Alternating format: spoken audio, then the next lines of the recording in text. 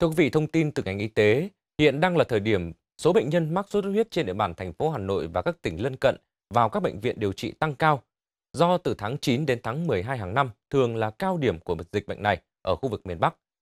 Thời tiết mưa nhiều cũng tạo điều kiện thuận lợi cho mũi phát triển. Và lo ngại hơn là nhiều ca mắc bệnh đã xuất hiện biến chứng nặng và nhiều phụ nữ đang mang thai cũng đã bị mắc sốt xuất huyết.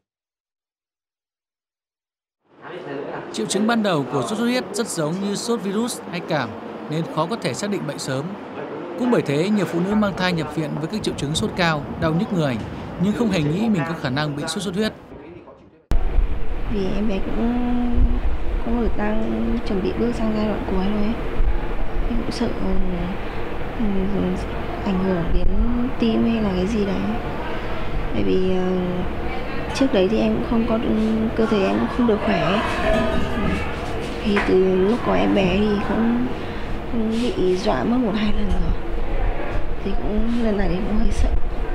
Trong khi đó, theo thống kê của ngành y tế, từ đầu năm 2019 đến nay, cả nước đã có khoảng 140.000 trường hợp mắc sốt xuất huyết, trong đó có 16 trường hợp tử vong, số ca mắc tăng hơn 3 lần so với cùng kỳ năm trước.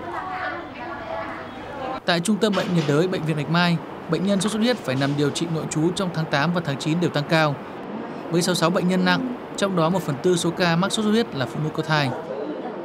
Những sản phụ có thai cần phải theo dõi đặc biệt cho nên là phải nhập viện vì những cái lý do ví dụ như là sốt cao thì có thể dẫn đến cái hiện tượng là ảnh hưởng đến thai như là những trong những cái tháng đầu có thể gây sảy thai ờ, và những cái tháng sau thì có thể ảnh hưởng đến quá trình chuyển dạ có thể một số chuyển dạ sớm thì có thể đẻ non hoặc trong quá trình đẻ thì nó sẽ xuất hiện cái quá trình gọi là rối loạn đông máu ờ, và có thể nguy hiểm tính mạng cho cả mẹ và cả con. Trước lo ngại về việc thai phụ bị sốt xuất huyết có thể phải bỏ thai, bác sĩ bệnh viện Bạch Mai khẳng định hiện nay không có chỉ định sản phụ mắc sốt xuất huyết phải bỏ thai. Nhiều sản phụ khi mắc bệnh điều trị xong vẫn sinh con bình thường mà không ảnh hưởng gì. Điều quan trọng là khi thai phụ nghi mắc sốt xuất huyết cần chủ động đi khám sớm, nhập viện điều trị.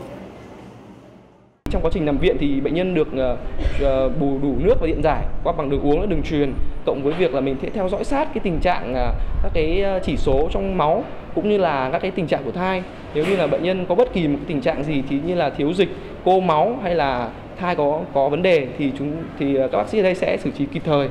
bằng việc là bù dịch hạ sốt cộng với cả cho bệnh nhân phối hợp với cả chuyên khoa sản để thăm khám và kiểm tra cho thai cho kịp thời. Trong khi đó, theo thống kê tại hai cơ sở của Bệnh viện Bệnh nhiệt đới Trung ương, trong tháng 9 vừa qua đã tiếp nhận 427 trường hợp mắc sốt xuất huyết đến khám, điều trị, không ít trường hợp biến chứng nặng, thậm chí có ca suy đa tạng.